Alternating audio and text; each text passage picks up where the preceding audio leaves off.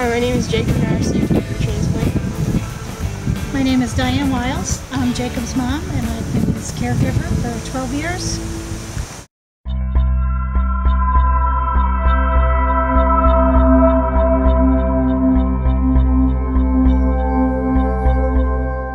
Jacob was born with a rare liver disease, biliary atresia. We've never heard of such a thing. I, I didn't realize he was that sick.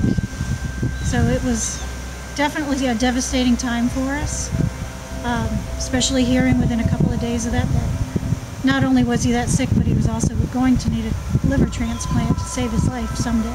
We didn't know when that day would come, but we knew it was going to be inevitable. We had a lot of family support um, friend support. We met people through the support group. The Kagan family was the first family we met, and Karen Kagan was just a wonderful wealth of information. Um, we had great doctors uh, here in Fort Myers and in Miami. You know, everybody kept us in the loop. We educated ourselves on what we were in for, what we were dealing with. Um, so it was just, you know, a day to day, get through every day, and every day we got through that he didn't need the transplant was a good day. And then when he did need the transplant and the organ came through for us, mm-hmm. um, that was just a blessing. I, I'll never forget that minute as long as I live.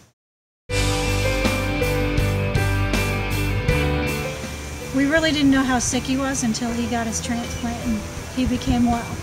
And it was such a change from night to day.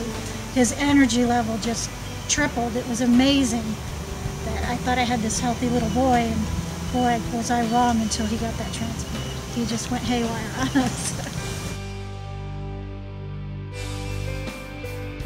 So you can save someone's life? That's just it. So families like us don't have to live through that tragedy of losing a child or a loved one.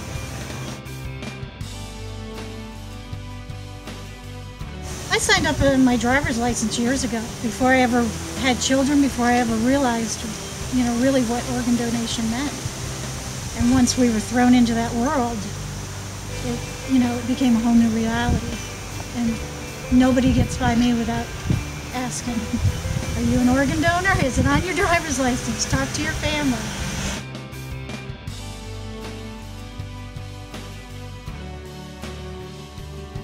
Pay it forward. Donate life.